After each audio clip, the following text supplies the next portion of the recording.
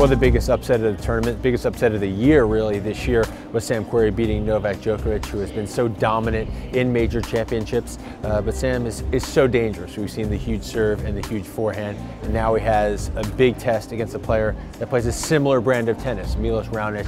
Huge serve, huge forehand. He's played so well on the grass. He was up a set and a break in the finals of Queen's Club.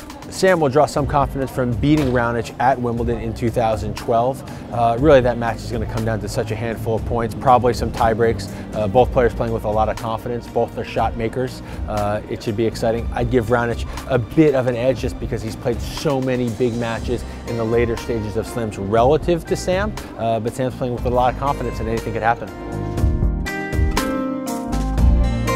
The Federer Cilic match is mouth-watering. Uh, they haven't played since Cilic beat him in the semifinals of the U.S. Open when he went on to win it in 2014. Uh, it's the only time Cilic has beaten Federer. They've played six times, but these are good conditions for Cilic. First strike tennis, aggressive tennis, but of course, center court is Roger Federer's home. His variety, his skill, his comfort level moving on the grass is exceptional. He does a great job using different spins and different paces uh, to break players' rhythm, especially players like Marin Cilic, who are really linear ball strikers, hit the ball so flat.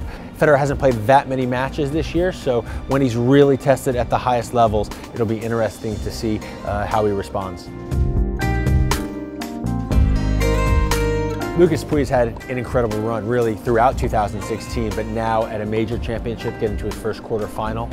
Uh, he's played a lot of tennis uh, this year and uh, this fortnight. Uh, as a Berdych, uh, getting uh, through a five-setter against his compatriot. Berdych has a lot of experience. He's been to the finals here before, hits the ball very hard and flat. These are good conditions for him. It'll be interesting to see how Pouille responds to such a big moment. That should be an interesting encounter with Berdych obviously having a huge edge in experience.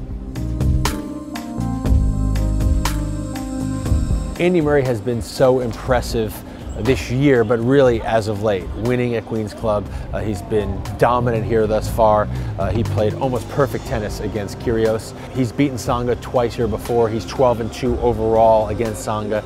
I think Murray's a heavy favorite. Uh, it just seems like there's a level of destiny with Murray this year at the championships. Obviously, working with uh, Lendl, that seems to have had an immediate impact, especially with the accountability of his attitude on court and the style of play. He's super aggressive. He's standing in, uh, super focused. I think there's a big advantage for Murray in that matchup with the backhand to backhand pattern, and Murray does such a great job of breaking down opponents' weaknesses.